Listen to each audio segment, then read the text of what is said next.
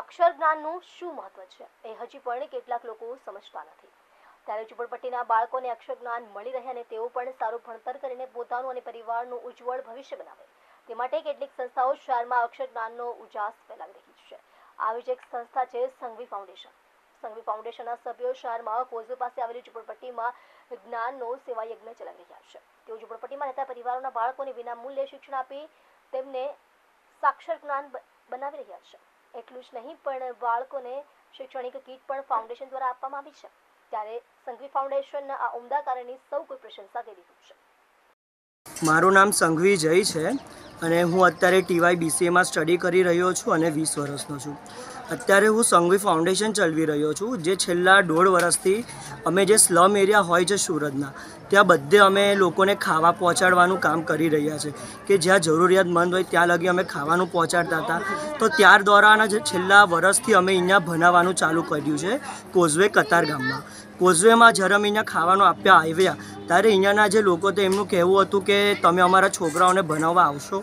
તો ત્યારબાદ અમે વિચાર્યું કે અગર કોઈને આપણે ખાવાનું આપે, તો એનાથી એનું પેટ એકવાર ભરાય છે.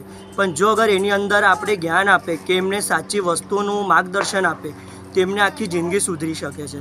અને ત્યારબાદ અમે અહીંયા ભણાવવા આવવાનું ચાલુ કર્યું અને છેલ્લા એક વર્ષથી અમે અહીંયા છોકરાઓને ભણાવી રહ્યા છીએ અમારું મેઇન વિઝન એ છે કે અત્યારે અમે છેલ્લા દોઢ વર્ષથી ફાઉન્ડેશન ચલાવી રહ્યા છે. તો અમે કોઈની પાસે ડાયરેક્ટ ફંડ નથી લેતા. અગર અમે લોકોને મેઇન અમારું વિઝન એ છે કે અત્યારે મારી જેમ જે બીજા યુવાન છે સુરતના તે લોકો એ ઘરની બહાર નીકળે અને લોકોની મદદ કરે. એટલે એનો મારો મેઇન વિઝન છે કે અત્યારે અમે અહીંયા ભણાવી રહ્યા છે. તો આ છોકરાઓને અત્યારે લખતા વાંચતા નથી આવડતું. તો એ લોકોને મેઇન લખતા વાંચતા કરવા અને મને ખબર છે કે ઘણા છોકરો છે કે જે લોકોને ભણતર સિવાય બીજી એક્ટિવિટીમાં પણ આગળ આવી શકે એમ છે. તો એ લોકોને એ એક્ટિવિટીમાં આગળ લાવવાનું અમારું મેઇન રહે છે.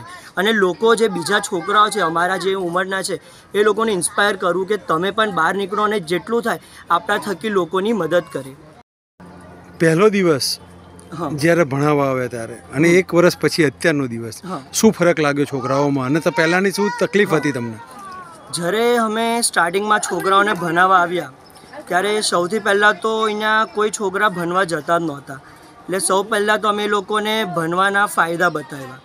કે તમે ભણશો તો તમે જિંદગીમાં આગળ આવી શકશો અને ભણતર સાથે અહીંયા લોકોને જે જનરલ નોલેજ છે, એની અમને લાગ્યું કે વધારે જરૂર છે.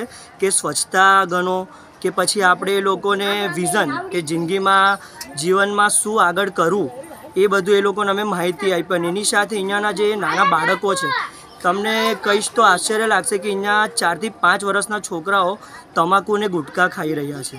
તો અમે એ લોકોને મેઇન માર્ગદર્શન આપ્યું કે તમે ગુટખા ખાઓ તો એનાથી શું એના સાઈડ ઇફેક્ટ થાય છે. તો એની માટે અમે એ લોકોને વીડિયો બતાવે છે કે ગુટખા ખાવાથી જે કેન્સર જેવા રોગ થાય છે તેના વીડિયો અને એનાથી અમે લોકોને છોકરાઓને માહિતી આપે છે કે આ રીતે તમે આ ખાવાથી આ ગેરફાયદા છે. અને જ્યારે અમે પહેલા દિવસે આવ્યા ત્યારે અહીંયા છોકરાઓને લખતા વાંચતા કે એમનું નામ કશું ખબર નહોતી. આજે છોકરાઓને એકથી સો લગી લખતા અમે સૌથી પહેલાં ગુજરાતીમાં એટલે ભણ્યા છે, કારણ કે ગુજરાતી માતૃભાષા છે. અને ગુજરાતીથી અમે શરૂઆત કરી છે, તો અત્યારે છોકરાઓને એકથી સો લગી એકડા, કખગ, છે, એ રીતે અમે બધું અહીંયા છોકરાઓને શીખવી રહ્યા છે.